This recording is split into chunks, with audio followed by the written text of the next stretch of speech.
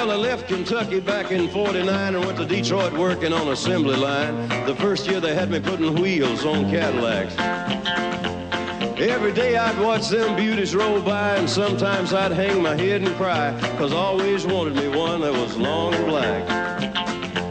One day I devised myself a plan that should be the envy of most any man. I'd sneak it out of there in the lunchbox in my hand. Now getting caught meant getting fired, but I figured I'd have it all by the time I retired. I'd have me a car worth at least a hundred grand. I'd get it one piece at a time, and it wouldn't cost me a dime. You'll know it's me when I come through your town.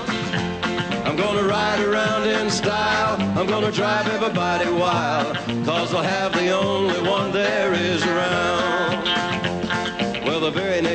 When I checked in with my big lunchbox and with some help of my friends, I left that day with a lunchbox full of gear. Well, I never considered myself a thief, but GM wouldn't miss just one little piece, especially if I strung it out over several years. The first day I got me a fuel pump, the next day I got me an engine and a trunk, then I got me a transmission and all the chrome. The little things I could get in my big lunchbox like nuts and bolts and all four shocks, the big stuff I snuck out in my buddy's mobile home. Well, up to now, my plan went all right till we tried to put it all together one night. That's when I discovered that something was definitely wrong. The transmission was a 53 and the motor turned out to be a 73. And when we tried to put in the bolts, all the holes were gone.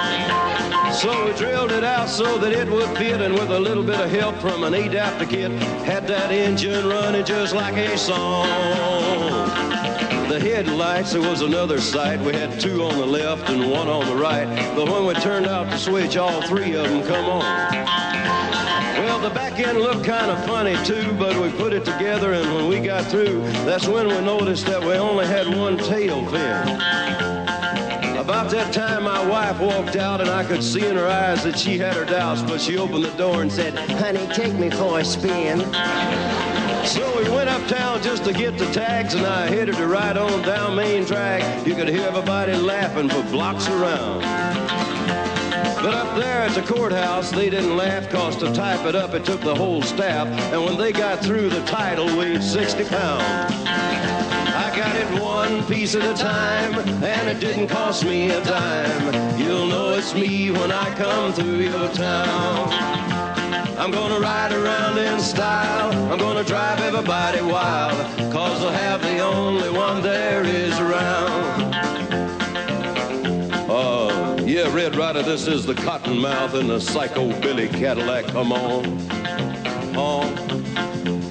Negatory on the cost of this machine there, Red Rider. You might say that I just went up to the factory there and picked it up. It's cheaper that way.